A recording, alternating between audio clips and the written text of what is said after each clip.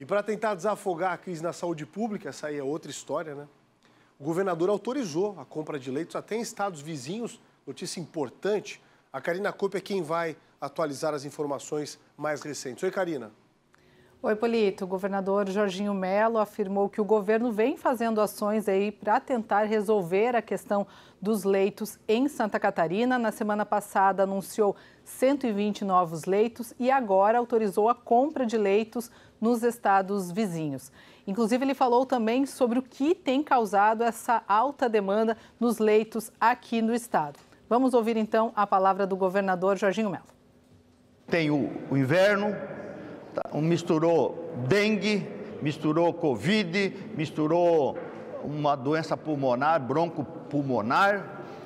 O pessoal não vacinou como deveria vacinar as crianças, principalmente as crianças, e fez com que essa, essa, essa carga de pessoas que precisam de socorro se agravasse. Mas o governo do estado está dando conta do recado, e a secretária Carmen está, está autorizada, se preciso for, comprar vaga em outros estados para socorrer as pessoas que precisam de UTI. Tá aí, então, o governador Jorginho Mello anunciando que autorizou a secretária de Estado da Saúde, Carmen, a fazer aí a compra de leitos em outros estados, se necessário for. Porque só para a gente ter uma ideia, aqui na Grande Florianópolis, a situação hoje dos leitos. Adultos, 97% deles ocupados. Em todo o estado, há somente 31 leitos disponíveis. Quando a gente fala em leitos neonatal, aqui na Grande Florianópolis, 91% deles ocupados. Em todo o estado, somente 19 disponíveis.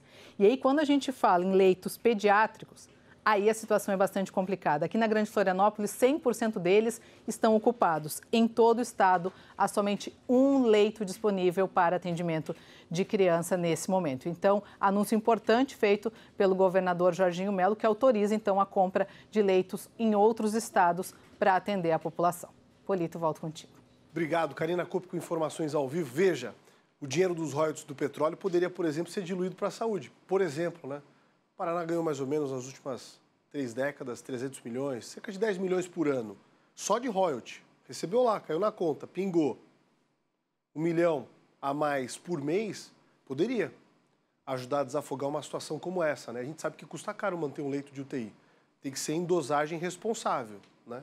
Não dá para manter sobrando leite de UTI por aí como se fosse algo muito simples. É complexo, o sistema é difícil, custa caro, todo mundo, a sociedade paga muito caro por isso, né? mas também tem que existir a responsabilidade. No momento em que há uma crise, um momento de dificuldade, que tenha músculo financeiro para agir, né? Porque se não tiver grana para pagar, como é que faz, né?